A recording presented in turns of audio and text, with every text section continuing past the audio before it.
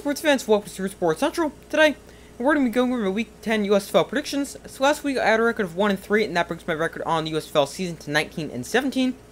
So this is the final week of the regular season, and for some of these teams, it is essentially a playoff game because for the teams in the North Division, it is a playoff game. Winning, you're in. Losing, your season's done.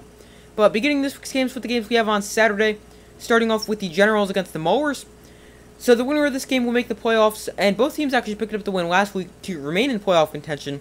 Now, I would expect this game to be a low-scoring game as both teams have tremendous defenses.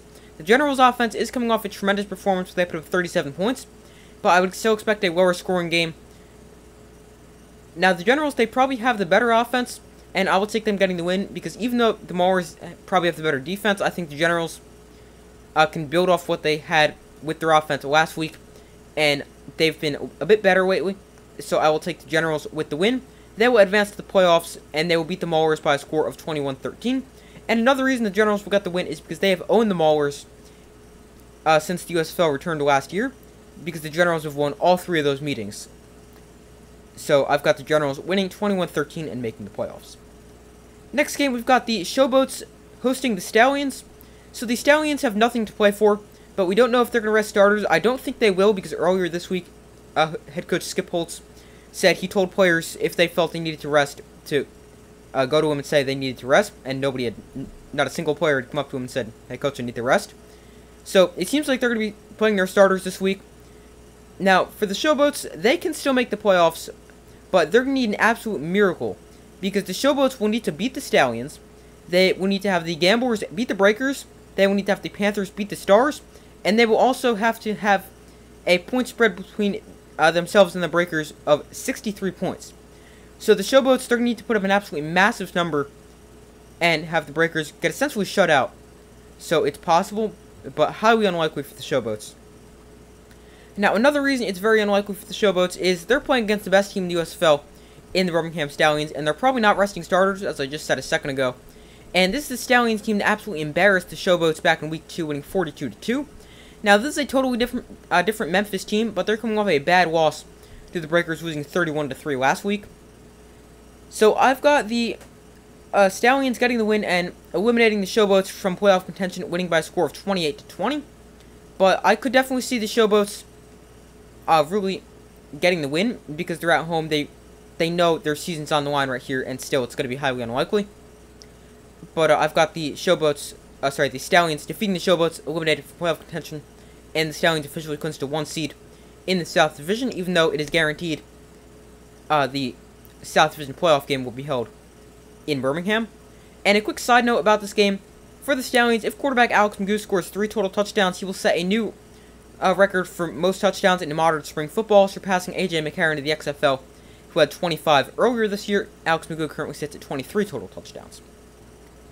Moving to the games on Sunday, we've got the Breakers hosting the Gamblers.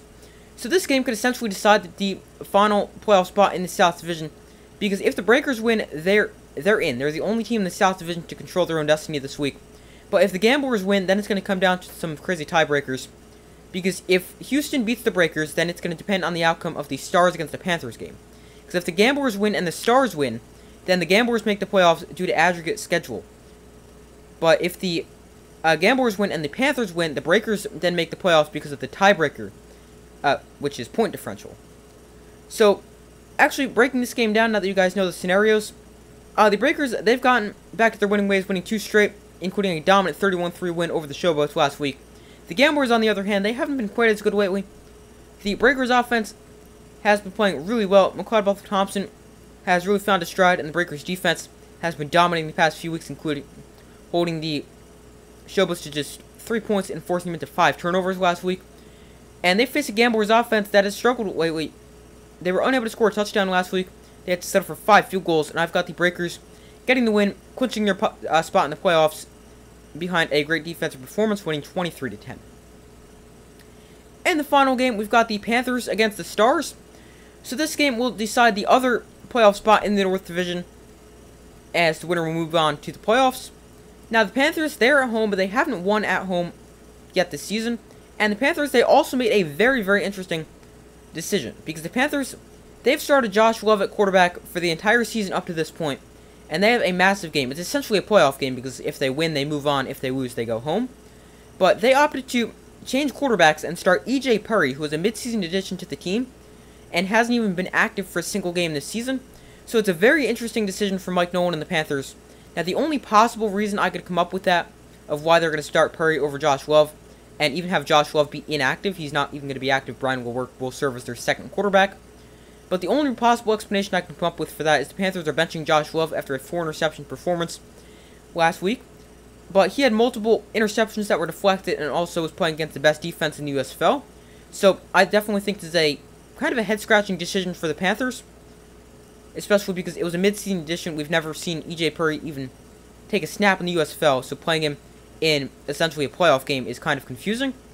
Now, for the Stars, they've been great. Despite their loss last week, they still played a tremendous game offensively.